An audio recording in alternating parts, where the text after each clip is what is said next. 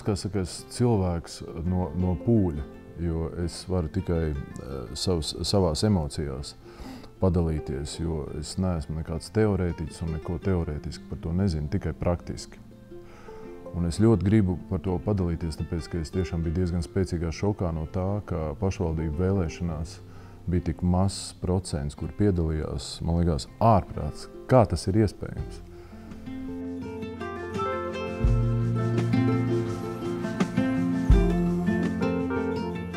Visas tās lietas, kas ir tādas, nu, teiksim, demokrātija, mēs varam, es varu absolūti personīgi pastāstīt, kā man tas ir.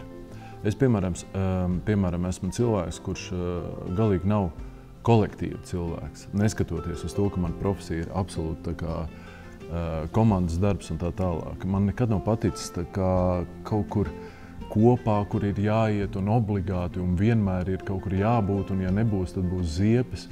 Un es atceros to savu uh, bērnību, Jālgavas bērnību, ka man bija, piemēram, tēvam bija obligāti no kolektīva jāiet 1. maija demonstrācijās.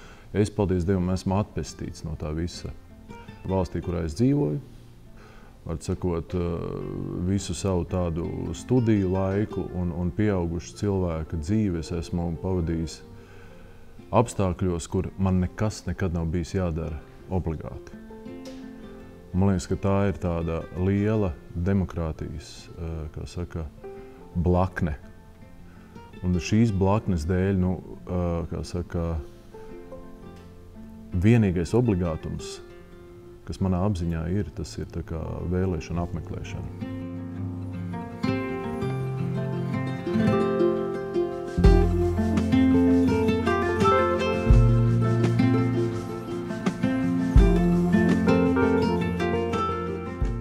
Demokrātija vispār, kā saka, tomēr ir ļoti sarežģīta, sarežģīta lieta. Protams, ka tā ir tava izvēle, bet ja tu tiešām gribi pa īstam veidot savu dzīvi, tev tomēr ir jāseko līdz politiskajai dzīvei savā valstī. Un es personīgi esmu, es to daru ar piespiešanos. Nav tā, ka man ļoti tas interesē, bet es šobrīd sev spiežu skatīties, kā uh, politiskie spēki eh, sevi eksponē tur eh, visādos raidījumos, priekšvēlēšana un tā tālāk, un, un mēģina izdarīt kaut kādus secinājumus. Tas ir darbs, un nu, mums jābūt pieaugušiem. Demokrātija ir pieaugušiem.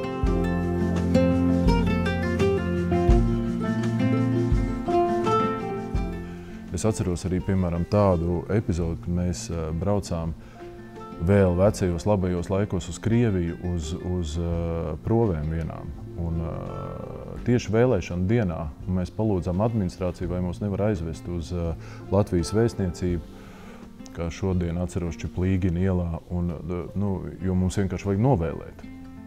Un tad tie administratori skatījās uz mums tādām kantainām acīm, kādā ziņā, no, nu, kāda jēga, nu, priekš kam tas ir vajadzīgs. Un tagad, tā, 2022. gadā, mēs saprotam, kāpēc tieši tas ir vajadzīgs. Ka tomēr tā varas maiņa tā ir brīnišķīga lieta.